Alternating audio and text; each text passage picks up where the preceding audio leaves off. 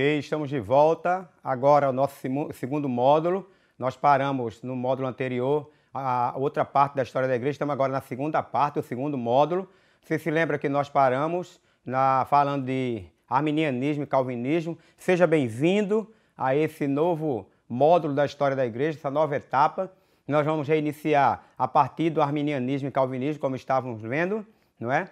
E queremos ter você sempre conosco aqui, querido aluno, aprendendo um pouquinho mais da história da igreja, não é? A nossa intenção com este curso é levar você a compreender um pouco a história da igreja, a, olhando os fatos passados para melhor compreender a atualidade da igreja. Nós pensamos assim. Por exemplo, quando nós vemos a reforma, nós estamos vendo a reforma protestante, os pensamentos da época, nós paramos e perguntamos: será que a igreja do século XXI precisa de uma reforma? Precisa de um novo Martim Lutero para reformar? Então, são sempre questionamentos que vêm sobre nós acerca da história da igreja. Não é? Nós estávamos falando no módulo anterior ah, sobre a questão arminiana e calvinista. Nós vimos aqui a questão da graça de Deus, nós vamos voltar exatamente para esse slide da graça de Deus. Nós estávamos falando sobre ele, a questão da graça irresistível, no calvinismo a graça irresistível. Você é, aceita a graça sem dizer não, você não pode dizer não quando ouvir a mensagem do Senhor. Já no, no pensamento arminiano, a graça é irresistível, a salvação se apresenta para todos, mas alguns dizem não, não quero.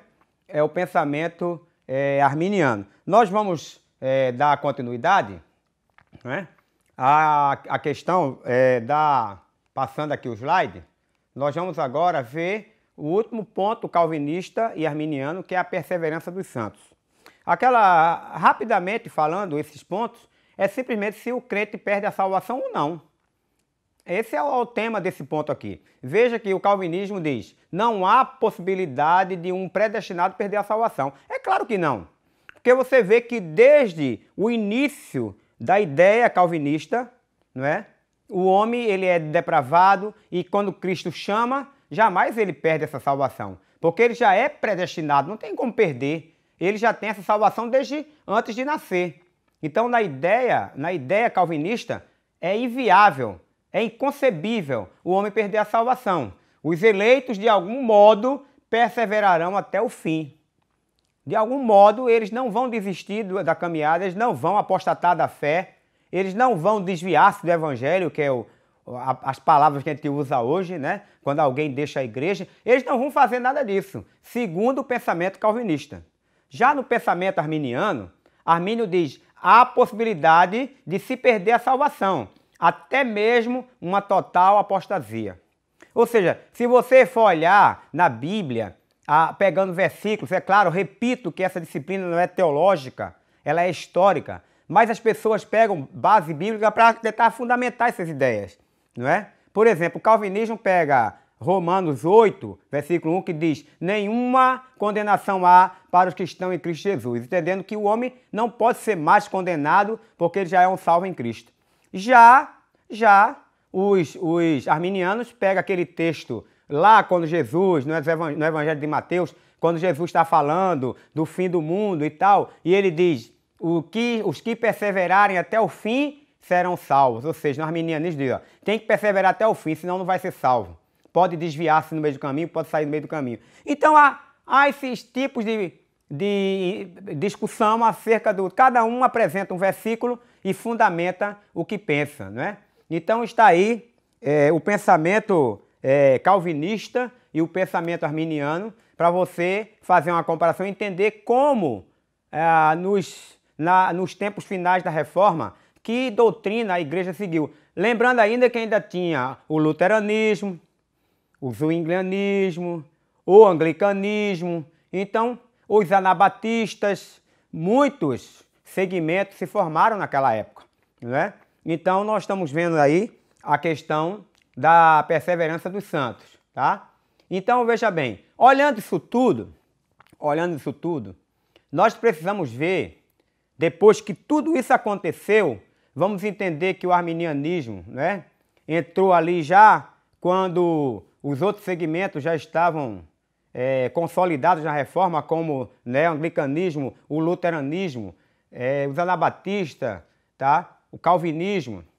Então, é, o arminianismo ele chega ali para refutar as doutrinas né, que já ouvimos né, calvinista. Então veja bem, a reforma ela aconteceu e ela deixou um legado, tá? Nós dizemos aqui em slides anteriores, em é, vídeos anteriores, tá?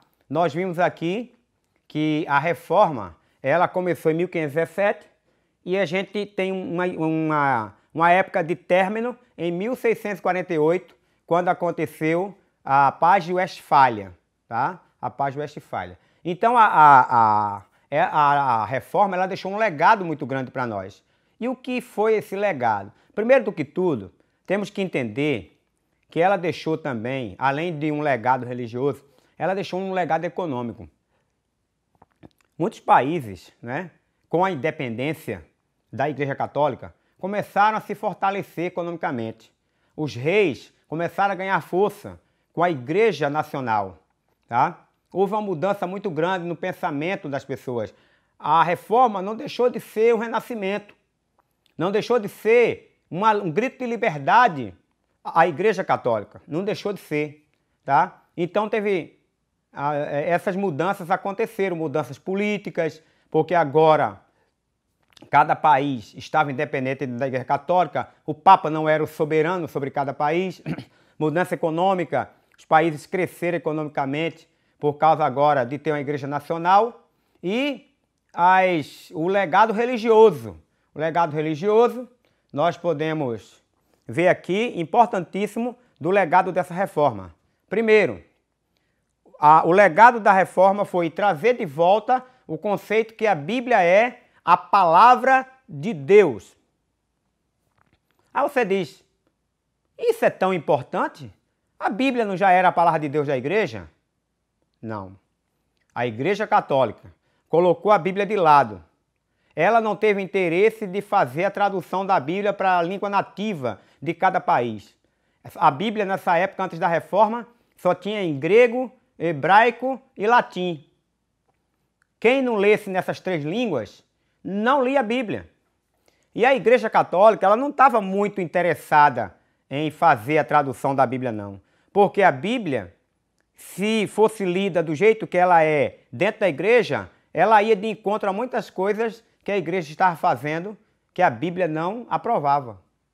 Então, a igreja achou por bem deixar a Bíblia de lado. Para você ter uma ideia, o Papa Paulo III, ele disse assim: Não sabeis que a leitura da Bíblia estraga a Igreja Católica? Quem disse isso foi um Papa. Aí você pensa assim: como é que um Papa, que é o líder espiritual da igreja, diz uma frase dessa, que a Bíblia estraga a igreja se for lida lá. Então você vê que estava desse jeito, certo? Então, a, então a reforma, ela trouxe, ela resgatou a palavra de Deus que estava perdida havia muitos anos. Desde que a Igreja Católica começou a ganhar força no século IV, que ninguém via mais Bíblia. Veja que estamos na reforma no século XVI. Ou seja, mais de mil anos de domínio da igreja e a Bíblia simplesmente esquecida. Então, a reforma protestante, o legado que ela traz na questão religiosa é que ela entendia que a Bíblia é a palavra de Deus. Por que essa afirmação? A Bíblia é a palavra de Deus. Porque na Igreja Católica tinha também a tradição que era aceita como também a vontade de Deus para a igreja. E você sabe, eu já falei em vídeo passado, a tradição era o pensamento de líderes da Igreja Católica que dizia é assim e é assim. E as pessoas aceitavam porque vinha do Papa, vinha do padre, vinha do Monsenhor, vinha do cardeal, vinha do bispo. Então é tradição, né? Então a, a, a, a reforma ela trouxe a ideia de que a Bíblia é a palavra de Deus e que ela orientava e tinha informações suficientes para conduzir a vida de um cristão. Por que informações suficientes? Porque naquela época a igreja ensinava que o Papa tinha mais informações, a, o bispo tinha mais informações e que a Bíblia não era suficiente para a salvação apenas lê-la. Por isso que a, a reforma afirmou isso. A Bíblia é a palavra de Deus e ela é suficiente para nos orientar. A segunda coisa, aqui importante, que a reforma deixa como legado, Cristo deveria ser o exemplo. Por que Cristo deveria ser o exemplo? Veja bem, na época, quem era exemplo era o clero. O clero se apresentava como exemplo, mas o clero escandalizava demais o povo da época. Eu já falei, slide passado, quantos sacerdotes eram encontrados embriagados, caídos pelas ruas. Quantos sacerdotes estavam celebrando missa e mulheres batendo na porta da igreja com filhos dizendo que o padre era o pai. Quantas práticas né, de indulgências, a venda de perdão aos fiéis. Quanta coisa a igreja fez, quanta coisa a igreja fez. E aí, a, a reforma traz assim: Cristo é o exemplo não é nenhum ser humano, não é o Papa, porque a, a, mentalidade do pessoal na época era que o Papa era infalível. Você tem uma ideia? O Concílio Vaticano I, em 1870, decidiu que o Papa era infalível. Você tem uma ideia? O Papa não erra, não falha. Essa, essa, essa discussão só foi desfeita, essa decisão, aliás, só foi desfeita no Concílio Vaticano II, em 1965. Foi quando a igreja decidiu rever isso aí, que era um absurdo, o Papa era infalível, ele não falha. Por isso que a reforma vai trazer Cristo ao nosso exemplo, não o Papa, não o clero, né? Cristo é nosso exemplo a ser seguido pelos fiéis à, à igreja, não mais os papas e padres que iriam definir as concepções de um fiel, mas sim Jesus, através da palavra que instruía o cristão. Viram a diferença? Para a Igreja Católica, quem instruía e orientava era um padre. E claro que ele orientava do jeito dele. Tá? Aí a reforma vai trazer que Jesus, através da palavra, é que instrui, instrui o crente, né? o cristão. Então veja que legado importante que a reforma trouxe, né? A questão da doutrina do pecado.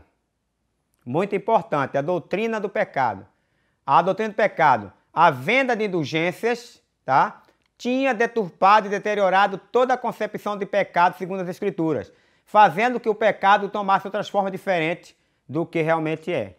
Sabe por quê? As pessoas cometiam pecados absurdos, pecados graves, e simplesmente elas iam à igreja e a igreja vendia o perdão de acordo com cada pecado. Para você ter uma ideia, tinha lugares lá na Europa, templos, que tinha já fixado à parede uma relação dos preços de cada pecado cometido. Para você ter uma ideia. você ter uma ideia, a coisa se tornou tão absurda, né? Se tornou tão absurda que as pessoas pagavam antecipadamente pelo perdão e depois podiam praticar o pecado, até mesmo matar alguém, roubar alguém. Era simplesmente, chegava lá, pagava antecipado por esse perdão. Você tem uma ideia disso? Você tem uma ideia disso? Então as indulgências se tornaram tão absurdas que foi, foi isso que fez Lutero se levantar. Fez Lutero se levantar, escrever as 95 teses. Então, é, esse ponto aqui, a igreja era quem é, dizia se o pecado era grave ou não era. A pessoa pagava e recebia o perdão, independente do que Deus dizia acerca do erro dele. Que coisa absurda, a igreja, ela era detentora do perdão. E a Bíblia diz: só há um que pode perdoar perdão, que pode perdoar pecados, aliás, é Deus. A Bíblia diz lá: quem é que pode perdoar pecados, senão Deus? E a igreja agora estava perdoando pecados. Você viu que coisa absurda? Por isso que a reforma chegou e disse não, não às indulgências. Não é assim. O pecado é perdoado por Deus. Quando nós nos colocamos, nos ajoelhamos, pedindo perdão a Deus, Ele é quem julga os nossos pecados, não é a igreja. E a igreja estava lá pagando para obter perdão em troca de dinheiro.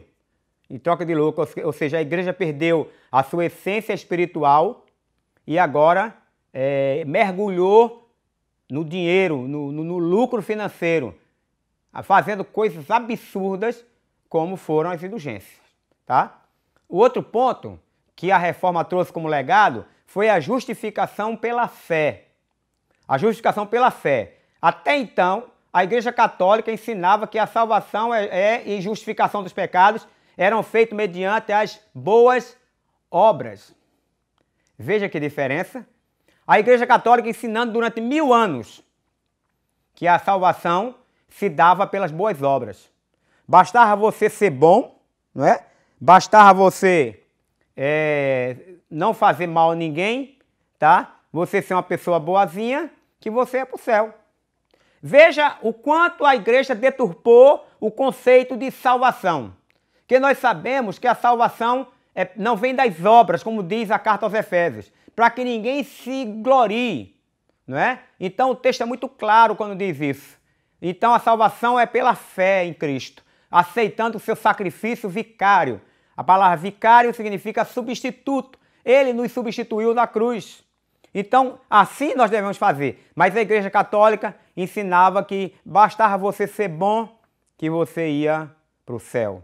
Se você fosse mal, não ia. Aí você começa a imaginar aquele ladrão na cruz que certamente roubou, matou, mas Cristo perdoou ali. Se fosse pelo conceito da Igreja Católica, aquele ladrão é para o inferno. Porque ele não era uma pessoa boa. Ele não fez boas obras nenhuma. Pelo contrário, ele prejudicou foi muita gente, não é? Então, a igreja, a reforma, ela traz a justificação pela fé, não é? Outro ponto importante, o sacerdócio universal e individual do crente, tá? Tinha sido substituído por padres que faziam a função de sacerdotes. Ou seja, na época e até hoje, as pessoas iam ao confessionário, chegava lá, confessava seus pecados ao padre ou ao sacerdote que estava ali, e esse sacerdote levava para Deus. Essa era a ideia da igreja, aquela questão de que você não podia pedir direto a Deus. E você sabe muito bem que desde que o véu do templo se rasgou de alto a baixo, quando Jesus morreu lá na cruz, o véu do templo rasgou-se e aquela ideia de rasgar-se é um simbolismo, dizendo que a partir daquele momento, cada um de nós tinha direito de acesso a Deus, de livre acesso a Deus diretamente.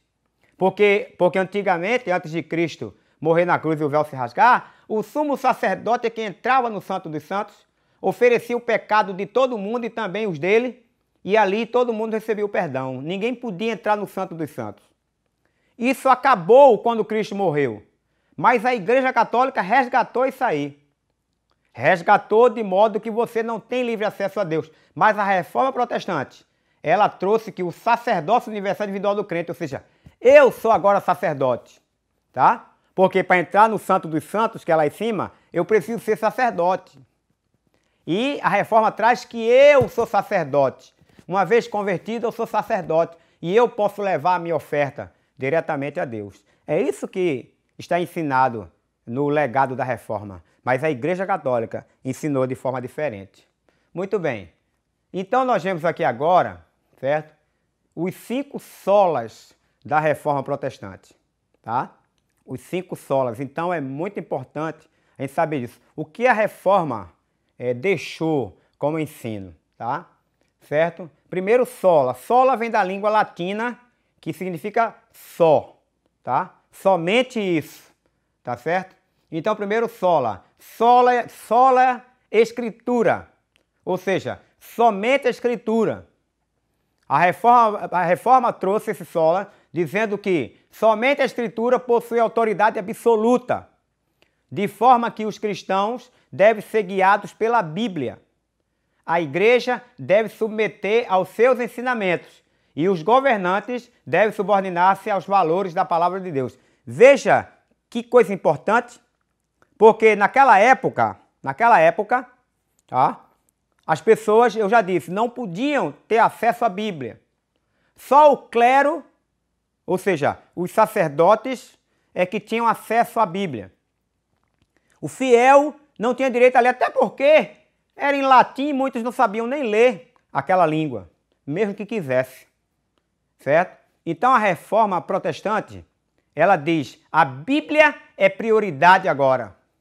A escritura é indispensável à igreja. Por isso que ela diz: ela possui autoridade absoluta, de forma que os cristãos devem ser guiados pela Bíblia. Naquela época, os cristãos eram guiados pelo Papa, eram guiados por um padre. E estes ensinavam tudo errado. Não ensinavam as coisas que a Bíblia ensinava. Por isso que a reforma vai agora trazer, certo, a questão de que só a escritura, só a escritura é que tem autoridade para nos ensinar. Só a Bíblia, só a Bíblia. E que os governantes devem subordinar-se à palavra.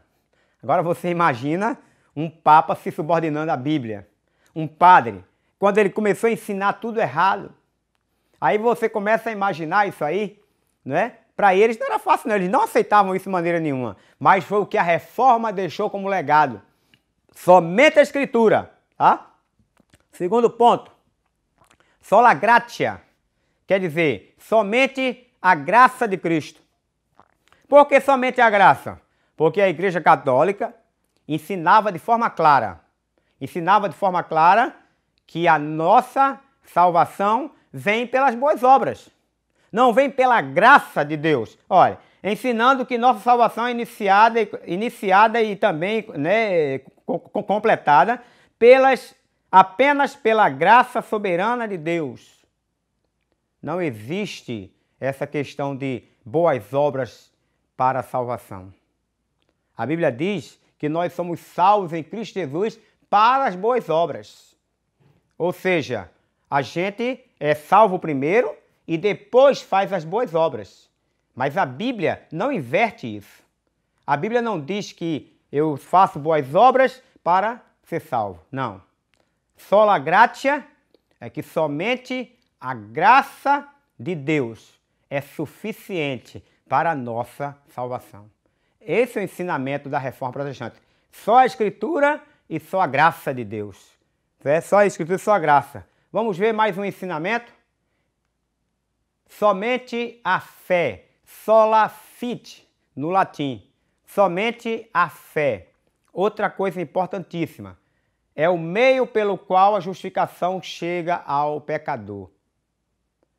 Fé em Cristo. Você se lembra que muitos daquela época tinham fé nos santos, nas imagens.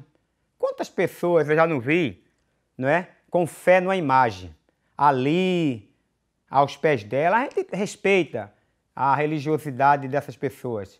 Mas a fé, ela tem que ser em Cristo. Porque pela, pela fé ninguém pode ser salvo. Inclusive, o, o, o é, Lutero, ele leu o texto bíblico que diz: o justo viverá da fé. Então ele, ali ele entendeu que não era boas obras, era a fé. A fé em Cristo que levava uma salvação. Então, somente a fé e nada de. Porque a igreja dizia que a igreja levava o homem a Deus, as boas obras levavam o homem a Deus, o pensamento deísta, que nós vamos ver daqui a pouco, dizia que o homem vai a Deus através do conhecimento e por aí vai, mas a reforma protestante disse: a, a salvação é somente pela fé em Cristo, tá? O quarto, solos Cristo, ou seja, somente Cristo. Diz: tanto a graça quanto a fé enfatizam que a salvação é somente por meio de Cristo, ou seja, Cristo é o único Salvador. Tanto a graça quanto a fé enfatizam que a salvação é somente por meio de Cristo. Não existe salvação de outra forma, não. Não existe salvação de outro jeito, não. A salvação só pode ser em Cristo Jesus a igreja colocava outros meios para chegar ao céu. Ser bonzinho, não é? Poder fazer coisas boas. Mas a reforma protestante, ela traz que somente Cristo pode nos salvar, somente Cristo. Passando adiante, o quinto sola, sole Deus glória, ou seja, somente a Deus glória, enfatizando que o principal propósito do homem é glorificar a Deus em todas as suas atitudes e que o principal deleite do homem é louvar a Deus. Tinha muita gente adorando ao Papa. Tinha muita gente buscando, a, adorando a igreja. Mas a adoração é somente a Deus. Só a Ele devemos dar glória. Só a Ele devemos adorar. Então veja que a reforma protestante trouxe os cinco solas e esses solas fundamentaram a história da reforma.